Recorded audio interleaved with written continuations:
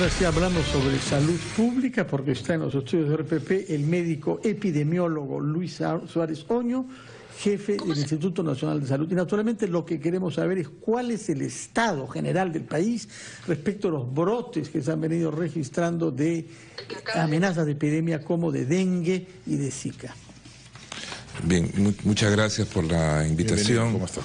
Sí, eh, bueno, estamos viviendo una situación excepcional en la historia de la epidemiología peruana. Tenemos tres virus transmitidos por el mismo mosquito, por el mosquito Aedes aegypti, que tenemos en, estos, en estas semanas en el Perú.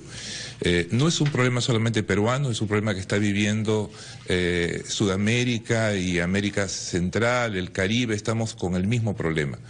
Tenemos al virus del dengue, que lo tenemos ya hace muchos años. El Zika, que es un nuevo virus, igual que el chikungunya, son nuevos virus que han ingresado a las Américas en, los últimos cinco años y están circulando en todos los países. Eh, una circunstancia excepcional porque hemos tenido un año también de, unos fenómenos climatológicos que, les, como todos saben, se le ha denominado el niño costero, que incrementa la temperatura del ambiente y esto facilita la reproducción del mosquito. El mosquito Aedes eh, más o menos se demora aproximadamente dos semanas desde huevo hasta adulto en reproducirse. Eh, cuando la temperatura promedio está por encima de los 30 grados, el ciclo se acorta más o menos a la mitad, a una semana. Y esto hace que se reproduzca mucho más rápido y al haber mayor cantidad de mosquitos facilita la transmisión. Tenemos, eh, tengo entendido, más de 50.000 casos de dengue reportados y alrededor de 50 fallecidos este año. Tenemos Zika, eh, ya no solamente eh, en la Amazonía, este año tuvimos un brote de Zika en, Chincha, acaba de reportarse hace, pocos días un brote en, en Comas, también de Zika, y bueno, casos esporádicos que están apareciendo en diferentes partes, como en Tumbes, en Piura, en La Libertad, eh, que es parte del mismo problema, ¿no?, de la transmisión por el mosquito. ¿En el sur chico de Lima también se ha detectado? No, no. o sea, tenemos Chincha, y tenemos acá en Lima, en Comas, digamos, los más cercanos. O sea, Comas, claro. Los, brotes de Zika, sí sí sí, sí sí, Así es. Bueno, eso es lo que está sucediendo con el mosquito. ¿Qué está sucediendo con el Estado y las instituciones públicas encargadas de hacerle frente a esta amenaza y definir políticas públicas eficaces? ¿Qué estamos haciendo bien? Eh, gracias por su pregunta. Este, eh, hay tres momentos, digamos, que, hay que tomar en cuenta. ¿no? Eh, voy de, atrás para adelante. ¿Por qué existe el mosquito? O sea, ¿cuáles son los determinantes de que existe el mosquito, que es nuestro problema? Este mosquito es un mosquito urbano, es decir, no es un mosquito que nos da problemas en las zonas selváticas o rurales, es un mosquito urbano. Y el mosquito busca agua para poder depositar sus huevos y reproducirse. Hay una correlación perfecta de zonas pobres, familias que no tienen agua potable, que tienen que almacenar el agua. Eh, para poder contar, digamos, con, con el elemento este, y entonces ahí es donde se reproduce el mosquito. El crecimiento urbano desordenado, la necesidad de tener agua en la casa y que los obliga a almacenar el agua es el principal determinante. que un mosquito de agua sucia y un mosquito de agua limpia malaria. Claro, el, mosquito anófeles, que es el, mosquito que transmite la malaria, ese mosquito sí lo encontramos en lagunas, en, bordes de ríos, en, otro, ese tipo de agua, ¿no? Inclusive debe tener vegetación para que se reproduzca. Los arrozales, por ejemplo. ¿Y este otro mosquito? No, el mosquito Aedes aegypti es... Eh, eh, es el sucio. Eh, no, es el, busca agua limpia, tanques de agua elevada, reservorios, floreros, este, barriles, o sea, cualquier lugar. los cementerios son excelentes criaderos. Entonces, el determinante de riesgo principal es, este que estoy hablando, es la pobreza, la falta de agua potable, la necesidad de tener agua almacenada. Un segundo momento es, bueno, ya que estamos en estas condiciones, el agua debe almacenarse de una manera segura tapas herméticas, mejor si son tanques con tapa rosca eh, eh, o tanques elevados, sellados, etc. Y viene el tercer momento cuando ya tenemos una densidad de mosquitos y hay que responder frente al problema para, para controlar. Correcto, o sea, lo que estamos haciendo como Ministerio de Salud es dos cosas, la aplicación de los larvicidas en el agua eh, eh, para poder matar al mosquito en su fase larvaria, cuando está en el agua, y la fumigación que está indicada solamente cuando hay transmisión de enfermedades. O sea, ¿por qué? La fumigación lo que intenta es reducir la masa de mosquitos infectados que están transmitiendo la enfermedad. La fumigación no va a desaparecer el mosquito, porque va a matar a los mosquitos que están volando pero al día siguiente van a nacer mosquitos de todos los criaderos que existan en la zona. Entonces la fumigación lo que intenta es reducir la transmisibilidad para poder reducir el contagio hacia las personas y la epidemia. Pero la solución de, definitiva del mosquito está en, el abastecimiento continuo de agua o en el almacenaje seguro del agua y eso escapa un poco de lo que puede hacer el ministerio. Si no eh, recipientes de agua o, o depósitos de agua, ¿el mosquito desaparecería? ¿No podría reproducirse? A ver, tenemos dos escenarios. Tenemos el escenario donde no llueve y donde el único lugar donde el mosquito eh, va a encontrar son los recipientes donde las personas acumulan eh, o almacenan el agua. ¿no?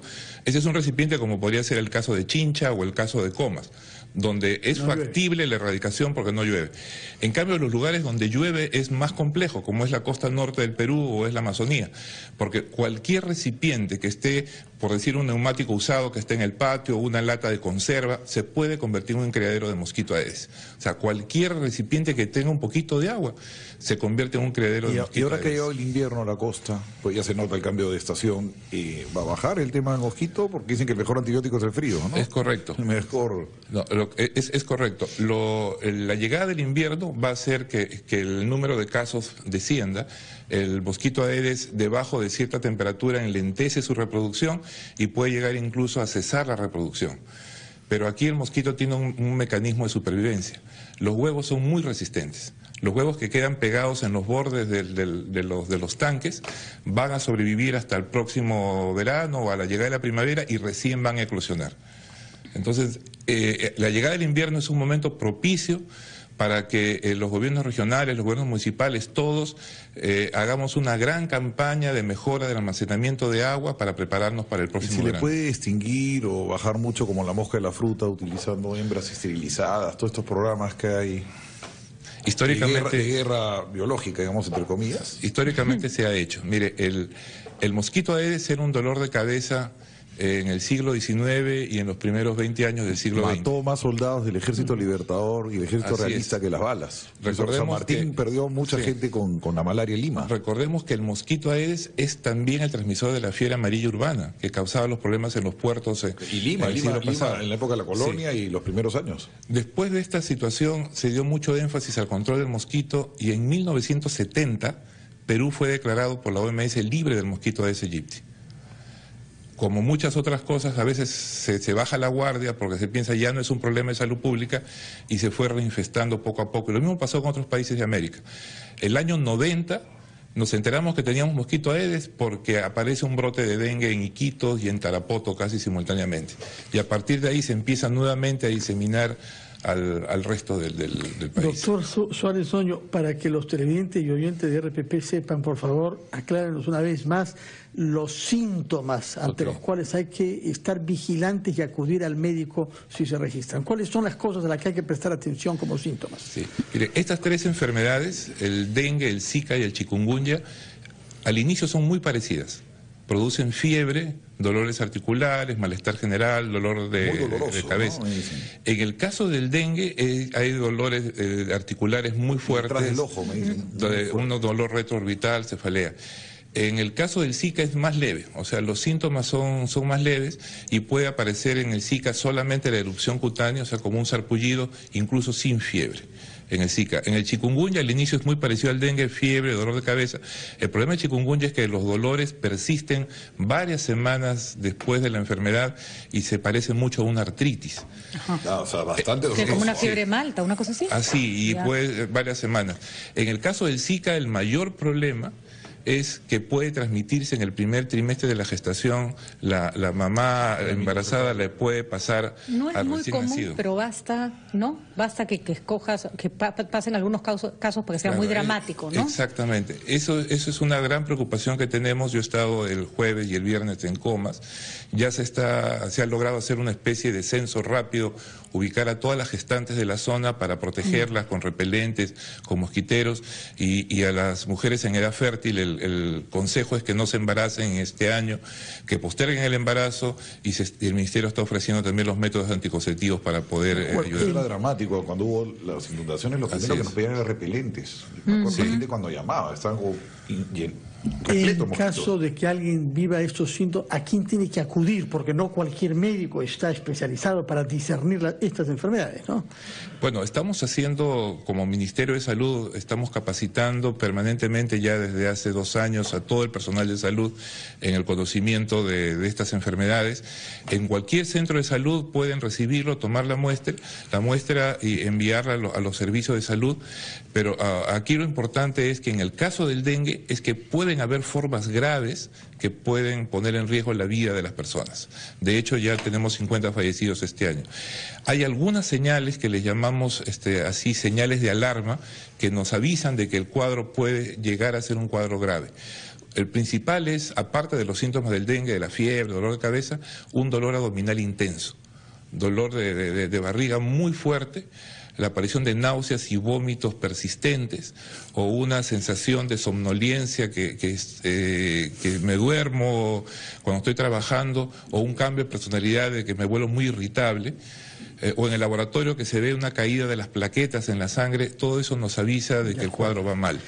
Eh, los médicos saben que si tienen un paciente con dengue, con esta sintomatología, tienen que hospitalizarlo o referirlo a un servicio inmediato porque puede ser un cuadro grave. Muchas gracias, doctor Luis Suárez Oño. Recuerdo que usted es el jefe del Instituto Nacional de Salud, es decir, responsable de la investigación de salud pública y de laboratorios en nuestro país. Muchas, gracias. y buenos días. Buenos días. Gracias.